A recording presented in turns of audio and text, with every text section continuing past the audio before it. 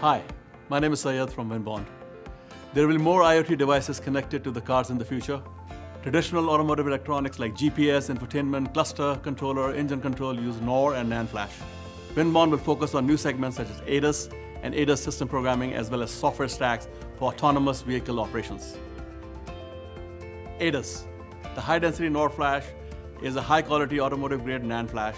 We offer a high-performance serial NAND that replaces a high-density NOR flash offering a low cost, high performance product advantage for all automotive customers. The traditional infotainment system uses a 1 to 8 gigabit parallel NAND, but can easily be replaced by a quad SPI NAND, 512 megabit through 8 gigabits. Telematics is key to V2X communication. Using a parallel NAND 1 to 4 gigabit flash device, Winbond offers a better solution. The Winbond parallel NAND 1 to 8 gigabit flash based on 46 nanometer process technology. To meet memory requirement for entry and mid-range instrument clusters in automotive application, Winbond's high-performance serial NAND product family ranges from 1 to 2 gig, with the 4 gigabit product in the future.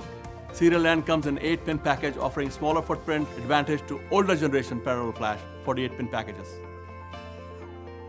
Another highlight is the primary automotive display system.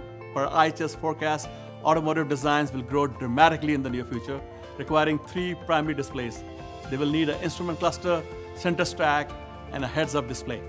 Winbond offers a high-performance flash solution using Winbond's proprietary continuous read technology that achieves a data read and transfer rate that surpasses current automotive-grade high-density NOR flash.